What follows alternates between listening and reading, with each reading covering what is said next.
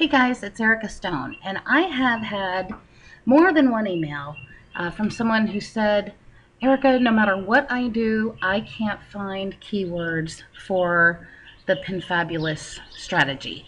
That's the combination of Amazon and Pinterest uh, for traffic. And this keyword strategy is one I've used for a number of other um, projects as well, not just uh, Pinfabulous, but it was uh, the keyword strategy I used for Squidoo projects. Um, really, it's just a low competition uh, keyword methodology. But um, if you can't make it work for you, then you don't get very far. So I wanted to show you how I'm able to pull together a pretty quick list of keywords, um, low competition keywords that are great for Amazon affiliates and uh, hopefully you'll be able to do the same. I use um, the Google Keyword Planner, but I'm also going to fold in uh, Ubersuggest. Uh, that's U B E R S U G G E S T dot org. This tool um, scrapes Google Suggest information and pulls out keywords, and uh, oftentimes it'll give you a giant list of things you can then run through the Google Keyword Planner and then using the spreadsheet that came in Pinfabulous you can scrub that list pretty quickly and zero in on some keywords that you just need to use to check the um, search engine competition and you're good to go. So I'm going to run through an example uh, and I'm going to start with, it, it helps if you've got maybe three words two words sometimes doesn't give you enough ideas, but um, you need some sort of adjective in here. So I'm going to do blue table lamp, and then I've got to enter the CAPTCHA.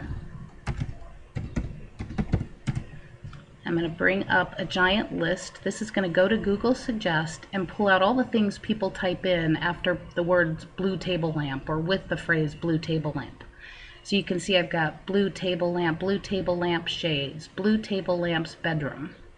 Now, see there's this little plus sign on the side? If I click on any of these words, it'll show me more phrases. That's it. It expands to include blue table lampshades, navy blue table lampshades, dark blue table lampshades, pale blue. So I get way more phrases if I click on some of these to expand them. Now I don't want to hit sale keywords and I don't want countries, but I'm going to go through and click blue table lamp base, uh, blue table lamps for the bedroom, blue table light, blue glass table lamp, blue ceramic table lamp, aqua, Table lamp blue and white. Art glass. Blue and brown. Blue and gold. Paris antique table lamp.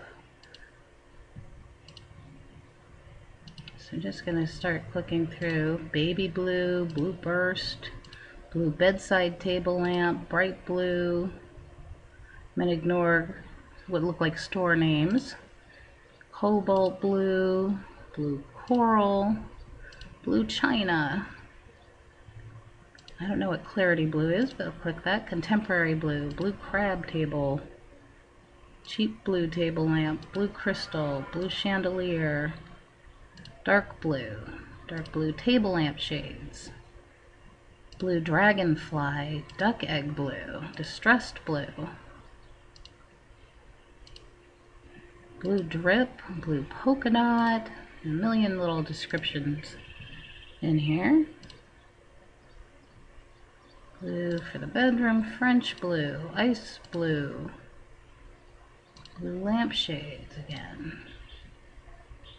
blue gourd, blue glass, blue green, whoops, click the country, uh, blue sea glass, I, oops, keep clicking on that same one. Okay, blue ginger jar blue bubble glass, light blue, large blue, blue LED, blue lighthouse, light blue shades, blue lamp shades, small light blue, light blue ceramic, modern blue, blue mosaic, midnight blue, blue martini table lamp, blue martini glass, navy blue, navy blue shades. Isn't this fun? Okay. Ocean blue. It's actually rather addictive. Pale blue. Blue white. Pale blue shades. Peacock blue.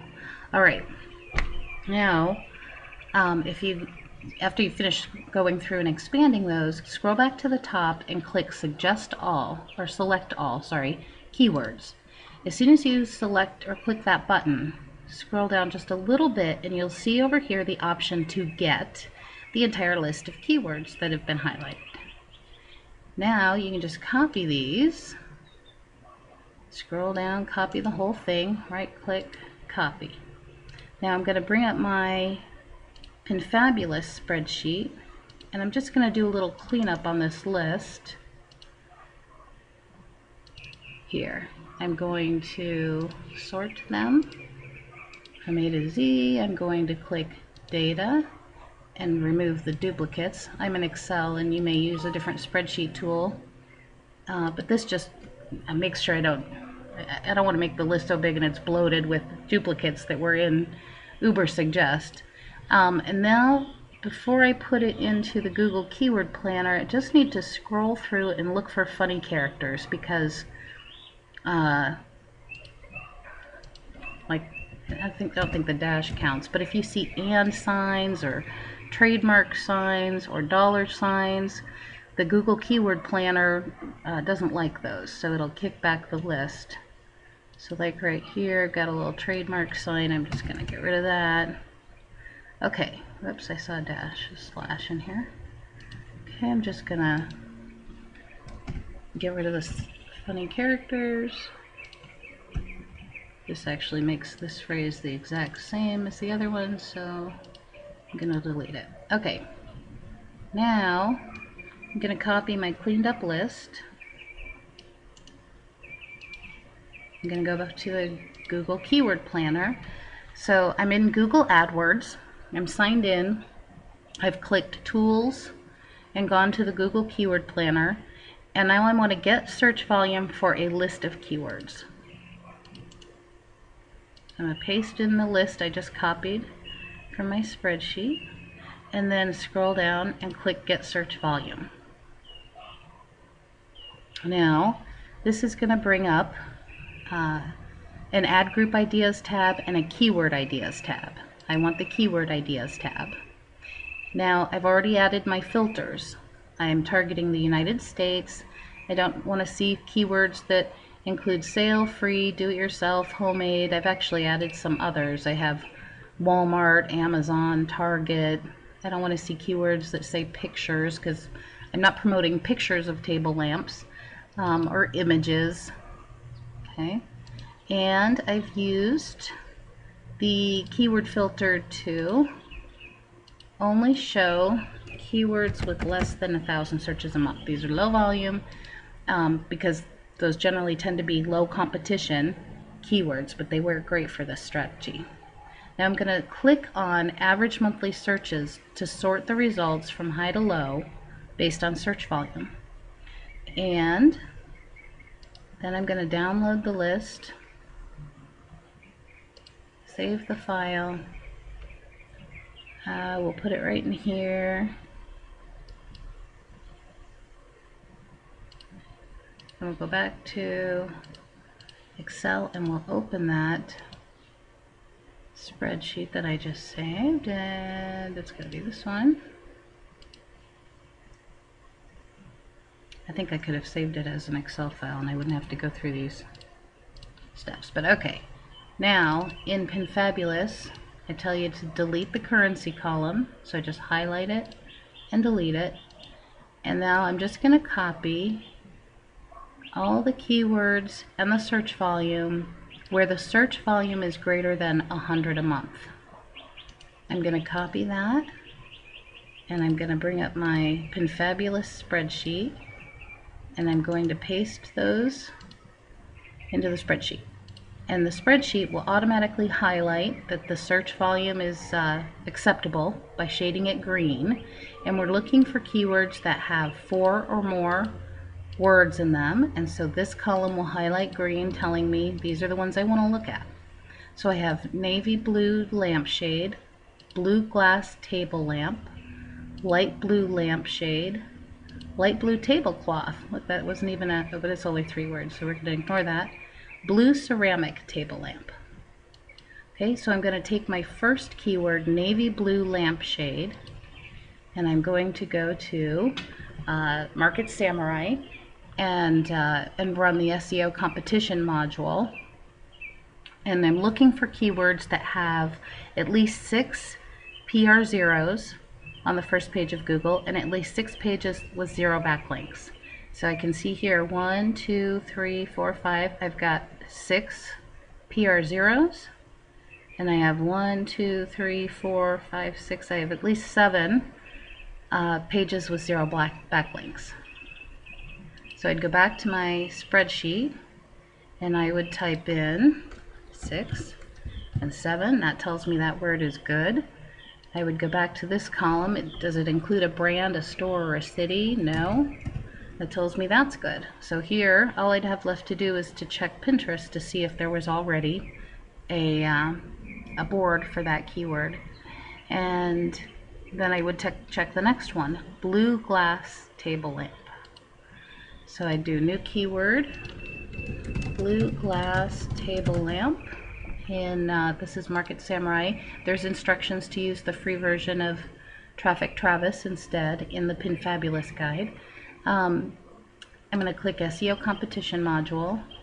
To make things easier on myself, I uncheck these other boxes and just want to look at the page rank column and the backlink column. I'm going to look at historical backlinks. I'm going to generate the results. And again, I'm looking for at least six zeros in each of these columns. And here I only come up with one, two, three, four, and five. So I'd go back to my spreadsheet, I'd enter four and five, and that would tell me that that doesn't meet the criteria. So I'd go to the next keyword that had four words in it, light blue lampshade, light blue lampshade. Back to Market Samurai, enter the word, run the SEO competition module, and check these two boxes, looking only for page rank and backlinks, generate the results. And this is what, this is the process I'd run through. So I would check those four keywords, counting the, the uh, zeros in these columns and putting them in the spreadsheet. This had one, two, three, and five. and then I would keep checking them. Then I would go, once I'd checked those, I'd go back to Ubersuggest and I would try red. I'd put in red table lamp, click the suggest button, go back through uh, the returned list, expand all of the um, results that come up, click the get button, clean them up a little bit in Excel or a spreadsheet tool, and then run them through the Google Keyword Planner to get the volume. It's just a continuous cycle until I found a good, you know, 10 or 20 keywords to keep me busy. It might take me half an hour to an hour to run through something like that to find uh, 10 to 20 keywords that meet the criteria. But um, I have heard from people who've taken days and couldn't find them, and so hopefully this uh, video will help show you or give you some ideas about how you can make the process faster for yourself and find more excellent keywords for your Pinterest boards.